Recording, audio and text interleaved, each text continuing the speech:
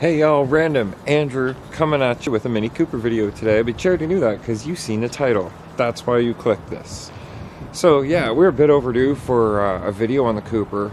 I've been trying to think of some things that I wanted to talk with you guys about about this little beast here. Uh, mainly to do with, uh, I guess the video's title probably says that too. I wanted to discuss whether this R50, so R50 2005 Mini Cooper, will ever be a performance car. Now, it is not the performance model, and because of that, there are some things that I found out. I got talking to a fella on Facebook by the name of Jamez and his minis. This guy, he's quite knowledge when it comes to these Mini Coopers. That could very well be an understatement in itself. So, as we uh, do some work on this very cold day, I mean, look, canoe's covered in snow. And we had a warm day or two here, and I did not choose to do work on the car on the warm day. Got big dirty plow, snow plow, snow, and all this salt. Yes, salt. Because salt is so great for cars, right? So as we do some work to the car here today, I'm going to discuss the reasons with you guys. Why the Cooper probably won't ever be a performance car. You know, like, will it? Would it be worth doing these options? I'm not saying that an R50 can't be made a performance Cooper, I'm going to tell you my reasons why, and I think I'll explain the route we're going. But first, let's discuss some of these parts that I've got to do put on the car today. As you guys know, I get all my parts through Rock Auto. Most of my parts, anyways, 90% of them. I'm going to see about submitting a couple of pictures of the Cooper see about getting them on a magnet through Rock Auto. I mean, you'd have to buy your parts through Rock Auto to get them, but I mean, all through COVID, it was like COVID wasn't even there. These guys were able to provide my parts for me. Somebody should get a hold of them and say, hey, you guys should sponsor Random Andrew. I mean, Rock Auto, RA, Random Andrew. I just noticed that. So the parts today. Something that's been missing on my Cooper for a while and I got off actually this one here, sorry Rock Auto, but I got this off of Amazon for about the same price by the time shipping was covered. Autoboo. Alright, so this part from Autoboo, it's a rear wiper arm and the blade. Never had one on the car since I bought it, never really needed one. I don't think I've ever owned a car that's had a rear wiper blade, so it's all new to me. End cap, lose that, otherwise it looks really, really ghetto. Try not to break it. I mean, I picked a nice cold day to work with plastic parts, didn't I? Alright, so got us a nice clean wiper blade. And then the wiper arm itself. I'm going to test fit this piece before I go ahead and attach the wiper blade. Oh, that's gonna that's gonna be a problem. I don't think we're doing this today, guys. Because this piece,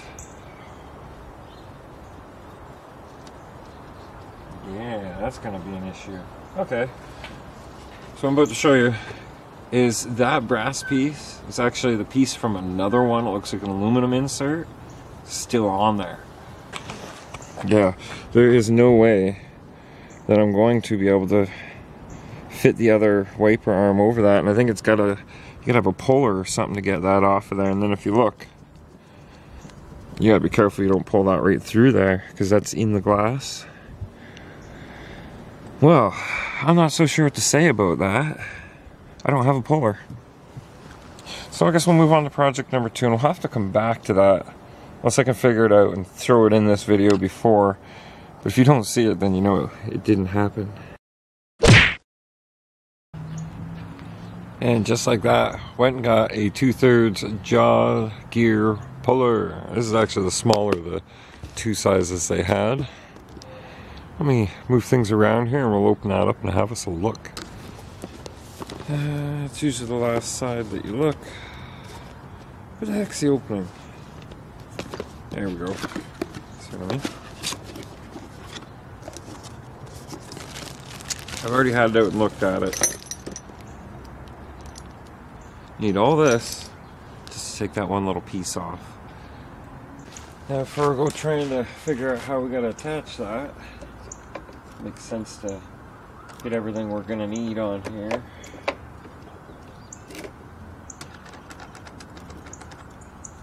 And no, the sizes are not in the right spots. And I'm not going to explain why. Just that nothing's where it should be right now in this box. There we go. 15. Ratchet. Okay. Let's fit this on here. And I'll explain one other quick thing about this puller. This is a giant pane of glass. This is a heavy metal object. Don't let the two meet hard. I mean, if I had the time or the patience, I might even go as far as to take a piece of cardboard and cut out around, poke a hole through, just so that this doesn't accidentally, you know, damage anything. Now, I have not done a heck of a lot of work with pullers. So this is going to be real interesting. Top one up.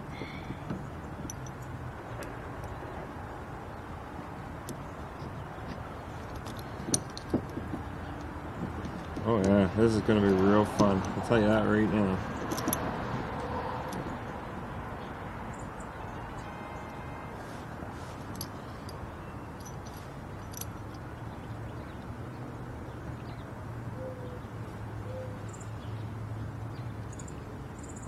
Just trying to get this in place and on here. Nice and even.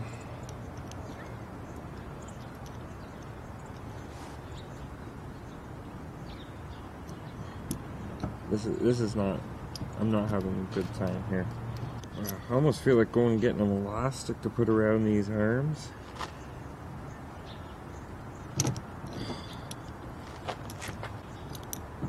Don't seem to want to be grabbing on it, you know? It just isn't as it's tightening, it just goes up and around.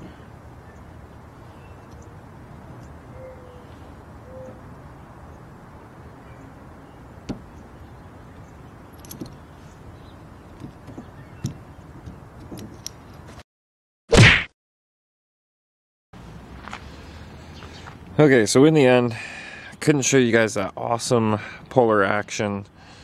Wasn't really anything fancy, really. So you guys didn't miss much, but I did have to reconfigure these from being mounted in these holes to these holes. Uh, I suppose I could have went with these ones here, but I mean, it's all about was uh, to do with length. I had to re like this had to be lengthened out a bit longer. But when these were up here, they were giving me enough of an edge. Like these feet that they go to grab on aren't the best. But I mean, it's better than absolutely nothing. And I'll show you what happened to that little piece. Alright, so this guy here, the piece that was stuck on, is this guy right here.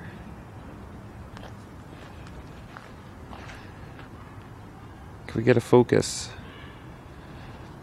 Hang on. Yeah, that's a bit better. Yeah, it actually ended up breaking. It's just cheap aluminum. So let's get at the new part. Alright, so the awesome rear wiper arm assembly from Autoboo. It does come with instructions. I don't know where I put them. We don't need instructions. I guess first thing is just to test fit this now that we've got it clean and open. Yeah. And then it's just a pressure fit on there. I don't even actually know if this wiper motor works, folks, but we're gonna find out. And uh, I don't see any reason why we can't just assemble this ahead of time. Alright, simple enough, pretty straightforward. This piece goes into here. Make sure you got all lined up and then just, should be just as easy as that. Look at that.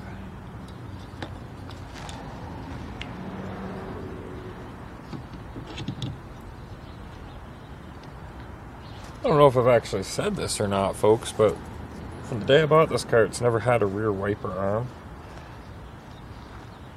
Well, looks like it should fit on there a little better than that, but we're going to give her a go.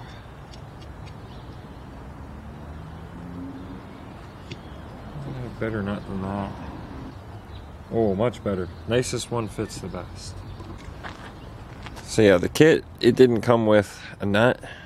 Doesn't matter, got lots of those. Got lots of those. Gotta figure out, it's gonna sit right about there. So 90 degrees out to the left. I mean, I, I can just change that if I don't like the way it's mounted. Yeah, yeah and you'll need a, uh, a 12 deep.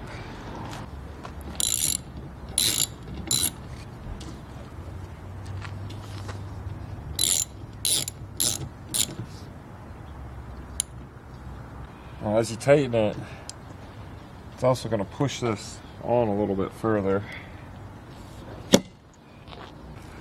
Autoboo also sells, includes, not sells, they include with the kit, so the little end cap. It's got this little cutaway, and I was looking at it, thinking, what would that be for? That's so that the sprayer can spray. So make sure we're putting it on here right, and it clips on properly. Simple enough. Doesn't look too bad.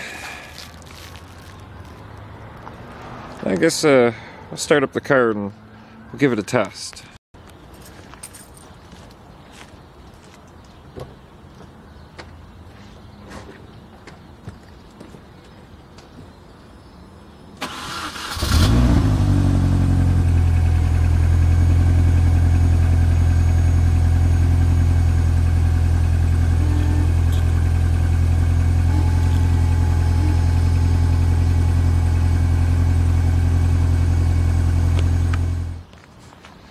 Hmm.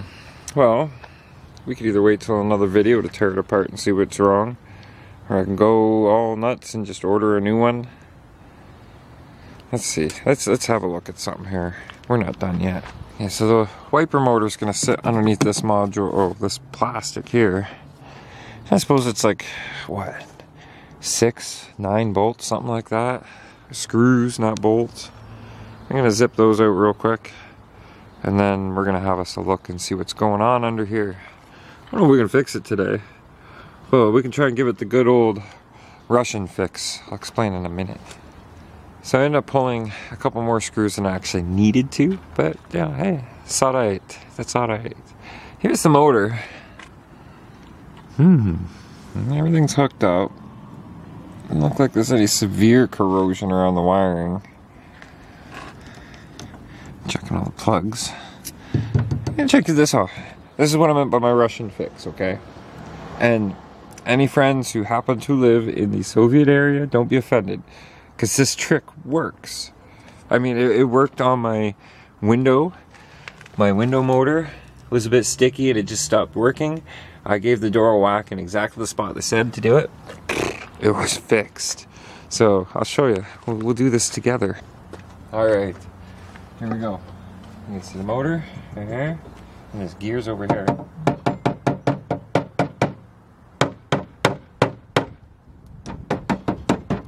aluminum casing on this uh, here, so I'm not going to hit that hard. But the motor, as you don't hit it hard enough to dent the casing, just free up them brushes. The way these motors work, magnets around the outside or magnets on the impeller and the electromagnet sends power to it. Sometimes that just sticks once in a while. It gets a little sticky. You have to free it up, that's all. Alright, we'll give this a shot. Oh, I'll leave it open. I should check my phone.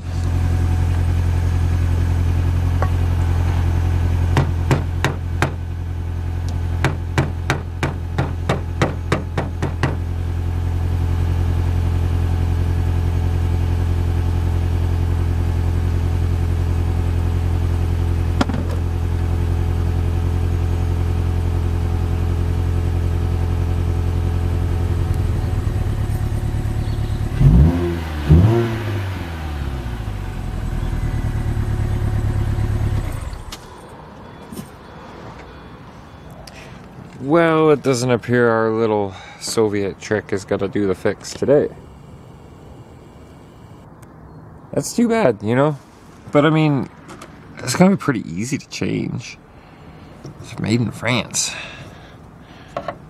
It's too bad if I could just get this motor, but it does actually look like it's all part of the same unit right here. So I'm probably gonna have to order the whole thing. Maybe just get a replacement motor. I'll tear this one apart and see what's wrong with it and then have a spare. Yeah, is that a positive way of thinking? Yeah, I think so. What's this? Except for the rear window heater, I wonder. Does it say on it? Well, let's find out together. That's made in Germany. I don't know. I'm gonna go ahead and guess that's for the window heater because we got wires coming in like a supply. And then we got wires coming out and going up there. Know, I put this all back together and then I'll show you guys once it's back together. But you want a quick closer look at how it all fits together. See these little slots right here?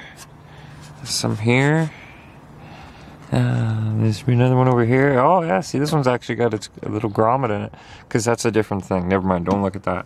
And this one here, those clips. Now if you look here, here are the corresponding parts. And that's where that one metal clip is. And there's like, there's a ton of them. So once you get it all lined up, they do all fit together. Should clean that up. We're gonna take this whole thing apart, plastic and everything, clean it all up underneath. Yeah, and this is the insulation, sound deadening insulation. You can see how much dirt and dust does actually get back and in here. But I'm not taking care of that today because I'm just gonna put it all back together and then I'm gonna go look up how much a new wiper motor is gonna cost. There, it's all back. Take two. It's all back together. Everything's nice and secure, hopefully nothing rattles. That motor is getting replaced soon enough. Tools are all, for the most part, cleaned up. In case you're ever wondering, these are foam blocks for uh, mountain canoe on top of your car. Still iffy on if I want to even use them on the Mini. You know, be one of those big old canoes on top of this thing without a proper roof rack. It's questionable. I'm going to return you guys to what I was already filming. We'll get on with the rest of the fixes now that that's done.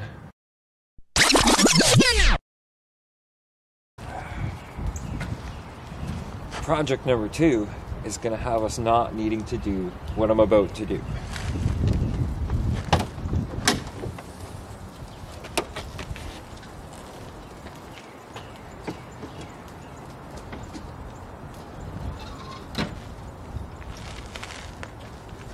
Yes, that's a garden tool. Got these guys off Rock Auto. Are my new hood struts. These will make it so we don't have to hold the hood open with a garden tool anymore. But I mean, it works in a pinch. I'm not knocking it. Just, these should be just as simple as popping off and popping on. But it doesn't look that way. Oh, why don't I why don't I ever look these things over before I start showing you guys? First up, let's move you guys around and show you what I got to do to get those off of there. it should be as simple as just popping them off. I don't know if you guys are in focus or not, but there's this little tab right here. It's a round guy. just a spring.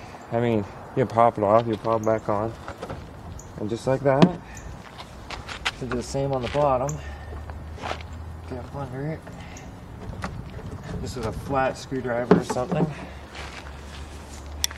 Just like that. There you go, just like that. It's off. Take note when you're doing these which end is which. So mine, I've got the non-hydraulic end. Ah, I'm just making a mess here. I've got the non-hydraulic end on the bottom, thicker end on top. Here's a nice fancy unit. New unit. Just as simple as that. It pops on the bottom. Just spin. Screwdriver down. Okay. So for this one, I'm obviously going to have to open the hood a little bit more. I think I'm going to wait till I get the other side ready to go. Or find a better spot to open this. Yeah, yeah, that's a good idea if I just prop this open a bit further here, it might buy me the room I need. Yeah, heck it. Let's just do it this way.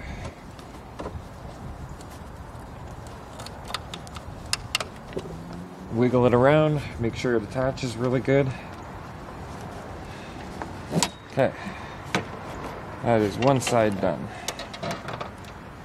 Leaving this in place just to give a little extra support until we get the other side done. Okay, now this side should be just as just as simple. I shouldn't say this out loud. I'm I'm laughing because I'm gonna jinx myself. But it should be just as easy as the first side. Pop that clamp off there.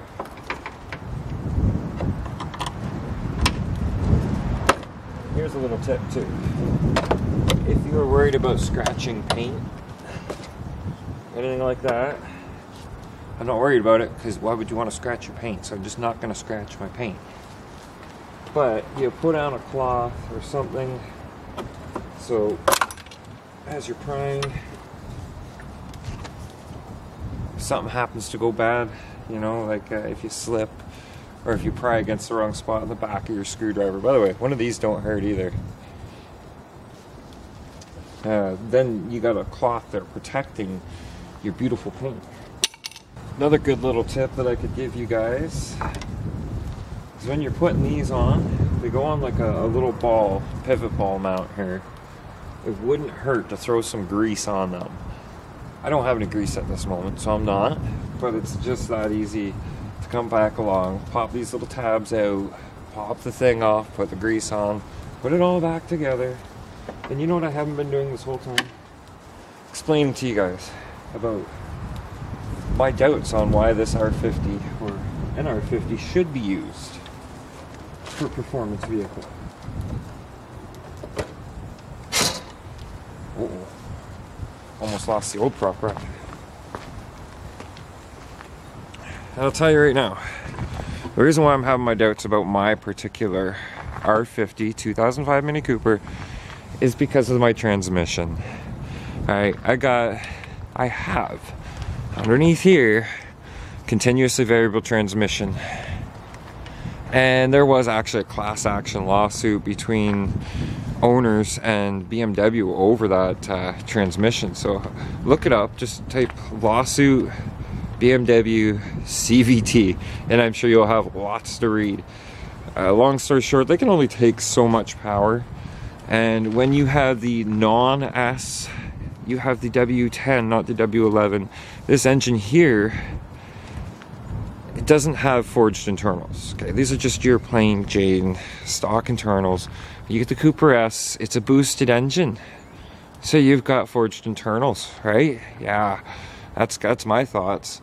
So the thing is, I could drop a six speed in this, sure. I found somebody down the Hamilton area, you know who you are if you're watching, who gave me a decent quote on doing the work, and that's like everything that needs to be done. I, I drop my car off, I pick it up, it's a six speed or a five speed, uh, depending on what choices. Now, there's choices there, but that's not what we're talking about. This is what we're talking about. This is what it comes down to. If I'm gonna go through the trouble to get me a donor car that's going to have the transmission and everything I need to do the swap, then I'm also going to run into the problem with the engine not having forged internals. Plus, it doesn't have the oil squirters under the pistons for effective cooling while boosting. So, what it comes down to is I'm going to take really good care of this. These cars, the R50s, have less problems in the long run when it comes to maintenance and all that as compared to the Cooper S's. Cooper S's, I guess, you know, being a sportier car, maybe it's under more stress. I really don't know. But I do know is this little thing gets great mileage. All right, I got a low battery warning here. I was so impressed when I drove up to my buddy Terry's and this thing got the mileage that it did going there and back. All right then, here we go. We're gonna test these hood rods, prop rods take the old weed puller out. Okay. The weed puller has hit the ground. Look at that. Oh, that is, that's nice. I don't have to have anything holding the hood open. Watch this, watch this. Actually, I have to pull the hood down. Okay. And then, oh, that is nice. I like that. Oh, geez. And it's an easy job to do. There's no reason why you should be taking your Cooper to a BMW dealership, paying them whatever in labor. Don't get me wrong, dealership guys, you have your reason, your purpose for being. There's a lot of jobs that you guys will have to take your your Mini Cooper to a dealership to do because you just can't do it at home. And that's why those guys are there. But for something like this, you do not need a dealership. That being said about the dealership, there are also guys like Jamez and his minis out there who has a lot of parts for the earlier uh, Mini Coopers like the R50 or the R53. I'm pretty sure he does deal in the other stuff too. And because I've mentioned him so much, I'm gonna get a hold of him later on and ask, hey, give me a link where you would want people to go to get a hold of you about Mini Coopers. And I don't mean like just asking them simple questions. I mean, if you need parts and you're having trouble finding it for this era of Cooper, 100% chance he's got it. Whew. So, on to what I was saying about the performance things. There's a few things I'd like to do, even though the car is never going to see a lot of power. But I think it would be very cool to do this on the channel and share the how to with you guys. Start out maybe a simple cold air intake off the throttle body and just up and over into this area. or Figure that out, and then improvements upon that over time. How we can run it down to sit somewhere in here. I don't know. I've seen a lot of great ideas out there, and put a few of those ideas together. We could come up with something really awesome as well. Hopefully, we could film this before the camera dies. Looking at the exhaust manifold. Actually, looks like a header, on the four into one header, but it's got a flex pipe down there. And you get down underneath here is okay. This end of it's okay, but when you get down towards the catalytic, it's it's rough. I can't even undo the O2 sensor, the post catalytic O2. Like I said before when I was talking about doing it, that post catalytic O2 is probably the original one, just like the before the pre-catalytic O2 sensor. If you don't know, Usually on these modern engines, there's two, if not more, O2 sensors. One taking a reading before it passes through the catalytic converter, and one reading after. And it compares those two readings to know how your fuel burn is and adjusts your computer accordingly to give you the best uh, the best ratio for air to fuel, giving you mileage, giving you performance, or whatever it happens to be dialed in for in this case, this little sucker here will actually limit your throttle body movement even if you put your pedal to the floor from a dead stop to give you the most e- efficient acceleration and mileage possible. Now, if you get into the brain of this thing, you can change all that through uh, rewriting in the computer the um, the ECU essentially, the electronic control unit, the brain you can also get a little module that'll hook up between, like your, your pedals all drive by wire in this, right? So your gas pedal, your throttle pedal, hooks up with a plug, a harness. And you get a module that hooks up between that harness and they'll let you change that too. A lot simpler. Other mods I'd like to do on the channel if I had the funds. If you want to support me and see these modifications happen sooner, check out my Patreon account Patreon page, I haven't done much with it because there's been no attention to the page. It gets some attention and I I will be updating it regularly. Patrons are people who can help support the channel because we're not really making anything on YouTube right now. If you look at my views, maybe someday I'll do a monetization thing and show you guys literally pennies a day. But it's free money, the way I look at it at this point. Free pennies because I love doing these videos. I love reaching out and connecting with you guys and being able to read the comments, especially on a lot of those uh, Highway Through Cemetery videos. Very cool interaction. Very cool to hear back from family members whose ancestors are in those cemeteries. Very awesome. So, long story short, if you want to help support me, help support little projects that we can use towards making content on the channel, the Patreon support will also go towards funding trips. Uh, there's a trip that I'm personally going to be funding out of my own pocket because it's something I want to do. And I'm going to get into that in another video, but you guys will be coming with me regardless. It doesn't matter. You're coming with me. And we're going to do it in this car. So that means we've got a lot of things to do before we can do that trip. And here's your teaser where that trip is. One Mini Cooper, one random me, all the way to L'Anse aux Meadows. If you know my Viking, my Norse heritage, you'll know why I gotta go there. Anyways, I've said way too much. This is supposed to be a Mini Cooper video. So thank you guys for watching this video of changing the hood struts. Something that really needed to be done. You know, it takes a couple minutes. Didn't need any special tools. If you enjoyed today's video, please click like. Make sure you're subscribed. Uh, my, my uh, analytics show me that a lot of you people who watch these videos aren't even subscribed yet. So do me a solid, hit that subscribe. Click the little bell next to it so you know when I get new content posted for you guys. And uh, yeah, other than that, share the videos. Find those Mini Cooper forums, find those Mini Cooper pages, share the Cooper videos. If you like the graveyard series videos, the tours, the cemetery tours videos, share them around too. They need some love. Talk to you guys later. I've talked enough. It's cold out here. Goodbye.